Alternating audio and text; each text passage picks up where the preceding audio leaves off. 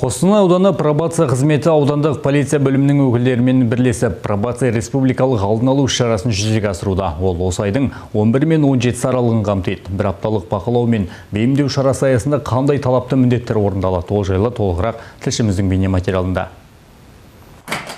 материалында. іс-шараның басты мақсаты шартты түрде сотталған азаматтардың қайтадан құқық бұзушылыққа және қылмысқа баруының алдын алумен қатар іздеу салынған сотталғандарды анықтау. Мұны өткізу үшін пробация қызметі бөлімі инспекторларынан және аудандық полиция бөлімінің қызметкерлерінен жедел топ құрылған. Олар сотталғандарды мекенжайы және сауықтыру орындары бойынша тексереді. Тәртіпке бағынбаса әкімшілік бұзақылық жасаса егер уақытында біздің есепке тұрмаса түнгі сағат оннан кейін үйінде болмаса біз оларға ә, бір екі іс шара қолданамыз. Сол іс шарадан кейін біз ескертулер жасалады. Ескертулер жасалғаннан кейін оғанға бағынбағаннан кейін біз оларды міндетті түрде бас бостандығынан айыру шараларын қолданамыз.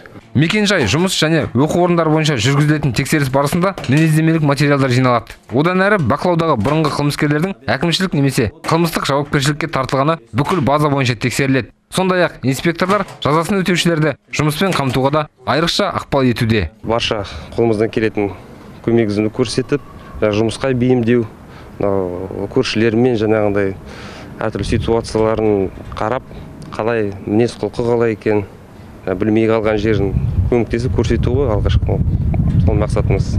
Проверки постоянно у нас проводится вместе с инспектором. Айына екі рет барып белгіленіп кетем. Кешкі сағат 10-нан кейін үйден шығуға рұқсат жоқ. Тексерушілер оның бәрін түсіндірді. Жалпы инспекторлар қойылған талаптар шеңберінде ғана жұмыс істейді. Сыпайылық танытады.